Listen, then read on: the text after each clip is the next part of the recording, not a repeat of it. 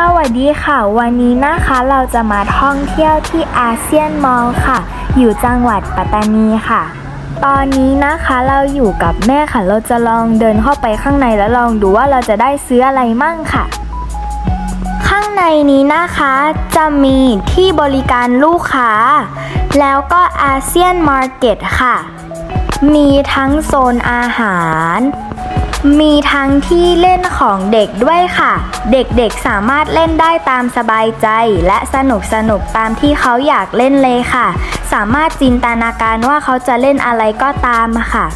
โดมนี้มีที่ว่างเยอะแยะมากมายเลยค่ะ สามารถขายของ มีทั้งร้านขนมปังและร้านอีกมากมายเลยค่ะ และต้องซื้อคูปองด้วยค่ะ และในซูนอาหารเนี่ย จะมีอาหารเยอะแยะมากมายเลยค่ะ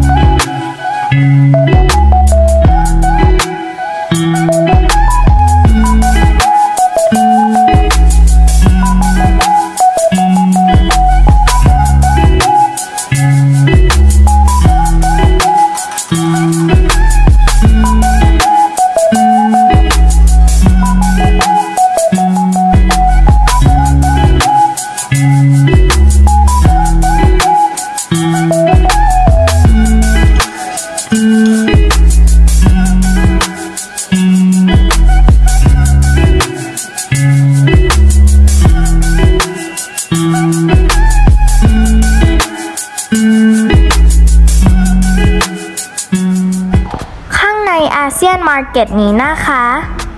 ก็จะคล้ายๆเทสโก้โลตัสและมินิบิ๊กซีกับบิ๊กซีค่ะ คืออันนี้แนะนำให้มาที่นี่เลยนะคะ เพราะว่าจะมีความสนุกสนานได้เยอะเลยค่ะ และมีความรู้เกี่ยวกับอาเซียนมอลล์ได้เยอะเลยค่ะ ขอบคุณค่ะ